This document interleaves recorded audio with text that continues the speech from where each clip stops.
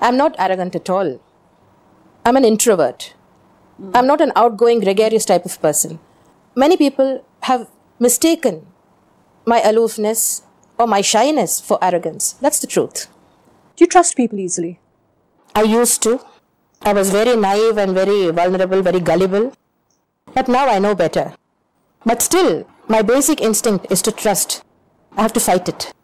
Would you say you're a good judge of people? Now, yes. What does a person have to do to win your trust? They just have to be straightforward.